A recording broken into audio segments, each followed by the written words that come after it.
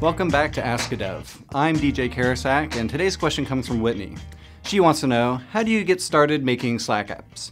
Well, that's an excellent question, and it's a lot of fun and fairly easy to do as long as you understand some pretty basic concepts of making an API. The first thing you'll want to do is to create your own Slack team if you haven't already. This will give you a place to test your new cool bot or whatever you're making, as well as access to the API documentation so you can dig even deeper when you're ready. Once you've got that done, you'll want to create a little backend. It doesn't have to be anything crazy. You can use whatever you're comfortable with. Ruby, Python, Go, Java. I personally use JavaScript. I like the tools that it has with it.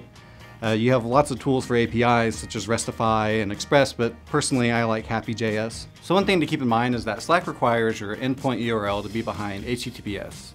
So that means that you have to have a valid cert, you can't self-sign it.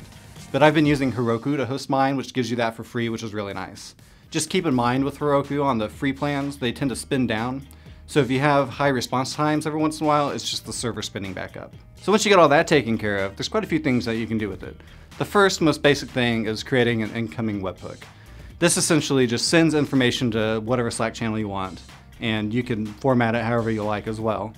So for instance, if you want to remind your employees to submit their time for the day or send weather information if there's going to be some kind of inclement weather or something like that. A lot of cool things you can do, but if you want to get even more interactive, you have slash commands.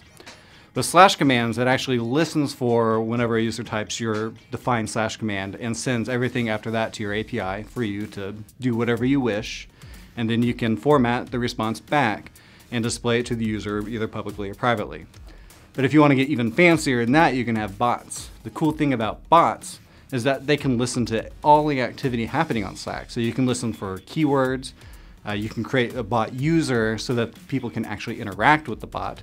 To get started making your own bots, there's really cool tools like BotKit.js. It makes it really easy to jump in and start making your own Slack apps. And I really hope that you find this information useful and it gets you started making your own Slack integrations, and I can't wait to see what comes out of the community. That's it for this episode. Tweet your questions to Ask a Dev or leave them in the comments below.